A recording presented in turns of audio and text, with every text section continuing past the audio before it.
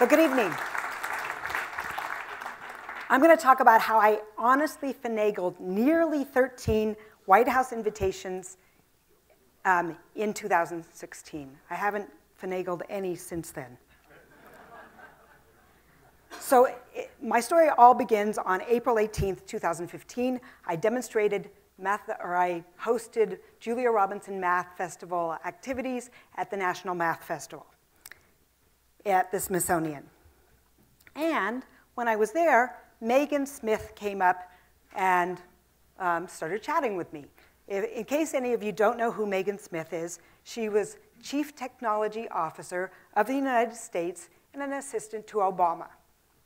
I had met her about 30 years ago, uh, but I met her most recently um, when I invited her to the Julia Robinson Math Festival at Pixar. And uh, we wanted, we had had a Julia Robinson Math Festival at Google, and I wanted to have one again there. And Megan, after attending the one at Pixar, said, Can I have one at Google? And I said I was delighted, and we had one the next year. Oh, whoops, before would go there.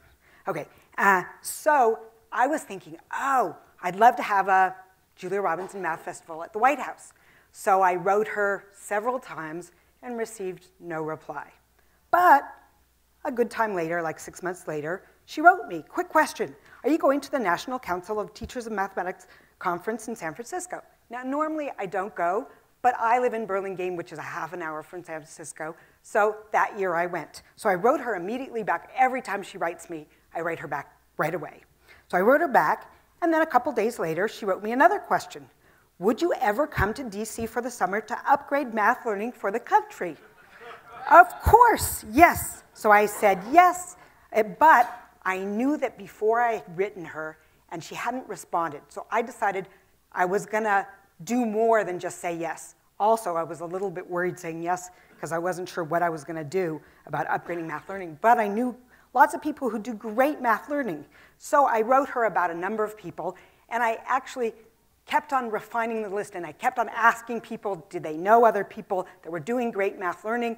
And I refined the list and refined the list and refined the list, and the list got bigger and bigger and bigger, and then I created a Google Doc with the list. Anyway, um, but before that, I, was in, I went to Maryland, and um, when I went to Maryland, I asked uh, Megan, uh, could I get together with her? And she said yes. So um, she said, why don't we get together May 20th? So on May 20th, I'm on my way to meet with Megan, and I had an appointment at 4. I don't know whether any of you know what happened at 3. Here's a picture to show you some of what happened at 3. Okay, do you remember that day? So there was a shooter at the White House that beat me there. So I got a call saying, We're on lockdown, so, so don't come now. Anyway, lockdown came off in about three or four hours, and I'm pleased to say that there I am with Megan in front of the um, EEOB office, the Eisenhower Executive Office building. And because Obama wasn't in town that day, she gave me a tour of the White House. That was all very nice. And I don't know whether you've ever been to the Eisenhower Executive Office building, but it's beautiful. So here are some pictures of it.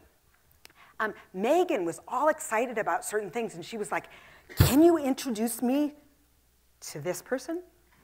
And I said, You know, fortunately, I'd met her here. So I said, yes. And, and she said, oh, and we should have a screening of The Man Who Knew Infinity at the White House. I said, that's great. And I actually had hooked up with those people, so I said, oh, yes, yes, yes, I'll, I'll invite them. I'll connect you with them. So anyway, I started um, brainstorming my ideas of who to send, you know, who to introduce her to. And, um, and th then I created a Google Doc and sent her a huge Google Doc with pictures of these people, email addresses of these people, and for the most part, I didn't get any responses back until I got this great response back. I was so excited. At least somebody was reading my email. We are unable to access Google Docs from the White House. Can you send it as an attachment? So, wow, that was great. That was the, you know, a wonderful positive response. So, um, so uh, I did send it as an attachment. Okay, and then, uh, um, and then a little bit later, I received this August 8th, invited to a Next Generation High School Summit on, um, on September 12th, and so I, I said I would go. The next day, I received this. And I thought, maybe it's the same thing, but I noticed it was, it was August 9th, and this was for August 11th. I knew that I got two invitations in two days, but I decided to go ahead and go those two days.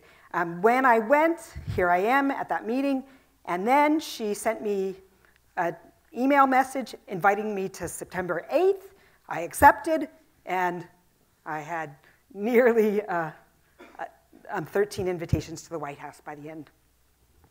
And if you want to help join me on my adventure of opening doors to higher education for the young and the young at heart, please follow up with me.